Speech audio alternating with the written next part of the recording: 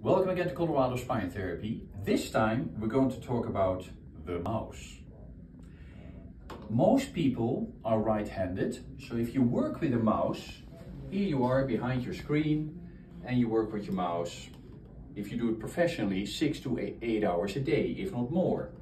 Many, many times people who do that come into this clinic and they have stiffness there, uncomfortable, this part of the thumb hurts and so on. You can do therapy and that will relieve those symptoms, but the key is to change your what's called ergonomics, to change the way you work behind your work desk.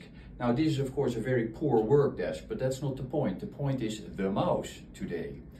So if you are one of those people who have problems on this right side because they use the mouse so often during the day, then try to train yourself using the left side, uh, the mouse in your left hand. Initially, things will go haywire.